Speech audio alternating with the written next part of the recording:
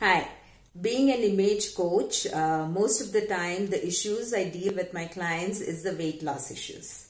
So one trick that has always been working is to become your own adult.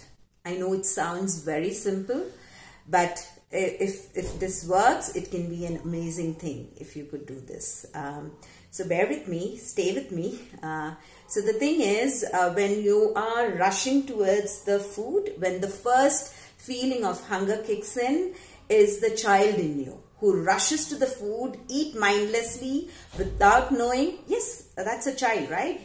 The child doesn't know what is in there, what is good for the child, what, um, you know, is going in the body and what it needs. So child doesn't know that and child is eating.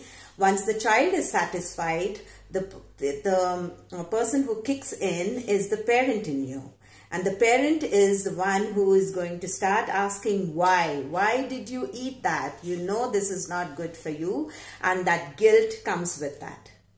So take a moment when that hunger pangs come in, take a moment to be aware or to kicking that adult in you. So take few minutes. It may be just, um, you know, for a glass of water that you are feeling that hunger. Uh, yes, it also feels like hunger if you're thirsty. So the aware, the adult in you is more aware. The adult in you is more conscious. The adult in you is um, more aware of what calories or what nutrition he or she needs.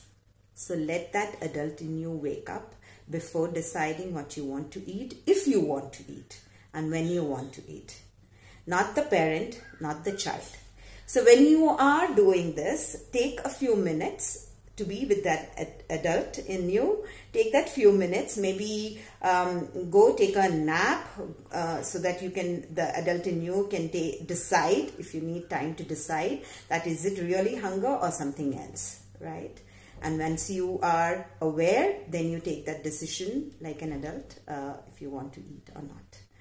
Um, so first thing what you do is when you are doing this or if you are going with this trick, um, don't indulge yourself in sugary treats because the first thing that happens and especially in empty stomach, the insulin kicks in and your sugar level completely drops down and the hunger cycle continues. So be on protein diet uh, for first few days once your adult is is um, all up and awake, uh, then you can, you know, uh, slowly uh, see. Until then, you won't be putting yourself in, in hard decisions.